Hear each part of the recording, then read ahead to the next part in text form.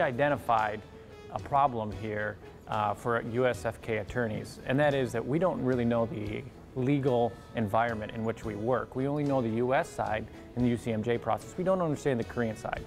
But under the SOFA, we're also uh, subject to Korean law.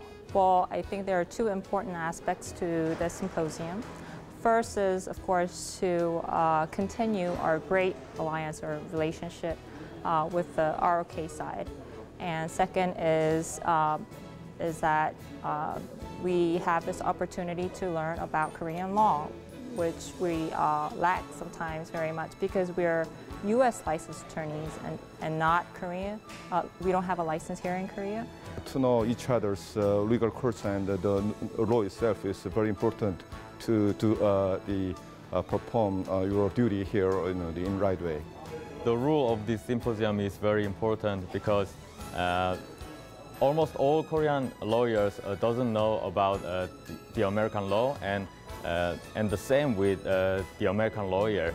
So uh, they should talk to each other like this, like in this symposium. The purpose of the symposium is really to try to fill in those gaps and help us understand the Korean legal culture as well so that we can better advise our commanders on where their soldiers or airmen or sailors or marines are going out there and they can understand uh, some of the risks they're facing, as well as for us legal assistance attorneys to be able to advise clients who come in, whether that's, that's civilians or the, who are accompanying the forces here, or the, the soldiers, airmen, marines, uh, airmen themselves, uh, about the risks that they face when they go out.